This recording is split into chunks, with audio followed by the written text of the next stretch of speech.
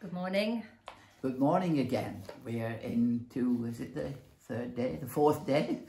Um, we're going to talk about prisoners today and we're going to be looking at Psalm 107 and we're reading from verse 10. Right, I shall read from verse 10 of Psalm 107. Some sat in darkness and the deepest gloom, prisoners suffering in iron chains, for they had rebelled against the words of God and despised the counsel of the Most High. So he subjected them to bitter labour and stumbled, and there was no one to help. They then cried to the Lord in their trouble. Then he saved them from their distress. He brought them out of darkness and the deepest gloom, and broke away their chains. Let them give thanks to the Lord for his unfailing love, for his wonderful deeds for men. For he breaks down gates of bronze and cuts through bars of iron. Well, here were people in prison, and they were in prison because of their own um, deeds. Sometimes um, we get ourselves into all kinds of trouble when we make mistakes. Um, these problems were self-inflicted problems. And sometimes we feel, if my problems are self-inflicted, God won't help me. He'll kind of say to me, well, you've made your bed, now you can lie on it. But this psalm tells us something different. Uh, maybe some wrong relationships that you've been involved with, some financial mismanagement, maybe drugs or alcohol or some bad decisions or other.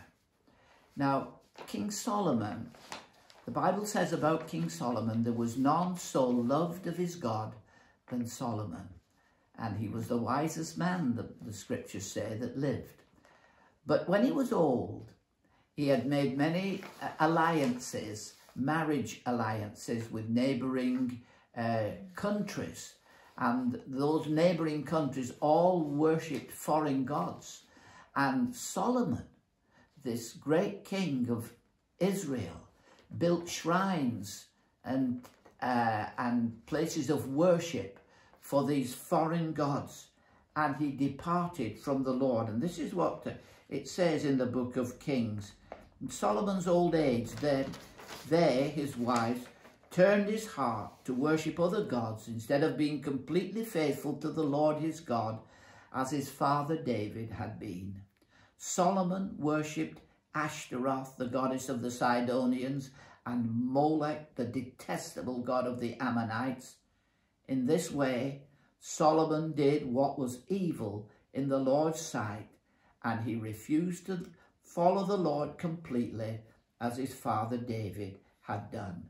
It went on to say the Lord was angry with Solomon, for his heart was turned away from the Lord, the God of Israel, who had appeared to him twice. The Lord had told him about this twice. There was another king, Jehoiachin. In the Bible, when you read it, there's Jehoiachin and Jehoiakim. It sounds like this is Jehoiachin and uh, he had rebelled against the Babylonian king and they killed his two sons and then they gouged out Jehoiachin's eyes. It was a terrible, gruesome, goodness me, yeah. Oh, life was very gruesome in those days. And Jehoiachin is in prison. He's in prison in Babylon. But another king arises, and this is what it says. In the 37th year of the exile of King Jehoiachin of Judah, Evil-Merodach ascended to the Babylonian throne. He was kind to Jehoiachin, released him from prison on April the 2nd of that year. He spoke kindly to Jehoiachin and gave him a higher place than all the other exiled kings in Babylon. He supplied Jehoiachin with some new clothes to replace his prison garb allowed him to dine in the king's presence for the rest of his life. So the Babylonian king gave him regular food allowance as long as he lived. Some people think I've gone too far this time.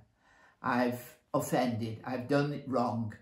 God will never hear me again, never answer me.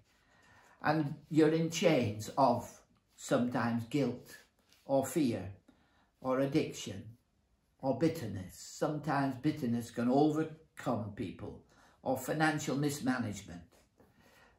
But the encouraging word from this passage is, then they cried to the Lord in their trouble. They're in prison, it's their own fault, but they cried to the Lord in their trouble, and he heard them, and he brought them out of darkness into his light. It says, let them thank the Lord and praise God for his unfailing love. Now, do you remember, well, you do remember Eddie. Yeah. He, used to frighten you to death, didn't he? Yeah, well, Eddie and Louise. Louise, uh, they were they were a married couple and they had two children. And we've had many people living with us all the time, but we had Louise living with her two children because of Eddie's alcoholism and very, very deep. Uh, he, he was really in a bad way, wasn't Violent, he? Very yeah. violent and very scary at times. And uh, when he was was had alcohol. When he hadn't got any alcohol, he was as quiet as a mouse, and you couldn't get a word out of him. But I remember one particular time, very often, uh, David would be called out at midnight because Louise uh, uh, Eddie was up at their house again and creating problems. But anyway, he was in and out of prison a lot. This is his, his own testimony uh, uh, about the police. Um, he- in fact, I think one what he shared at one time when he shared his testimony was uh, uh, you've heard of Eddie Krueger, Nightmare on Elm Street. He was Eddie, Nightmare on every street, Yeah. and uh, that that was his life. And anyway, he was in prison again, and he knew he would probably have to go down. He was uh, uh, in, in prison. They brought him in because I think he hadn't turned up at Well, some in the cells, wasn't in the he? cells because Yeah. he, he hadn't turned up for his parole, uh, something anyway that they have to do. And he knew for certain he would probably go into prison. And he remembered that David had once said to him, Eddie, you need to open up your heart and, and, and, and, and to Jesus and, and, and let him come in. And as he was in the prison cell, he remembered what, uh, what David had said. And he said, God, if you can get me out of this and I, I, I, I won't go to prison, I promise you I'll go to church when I get out.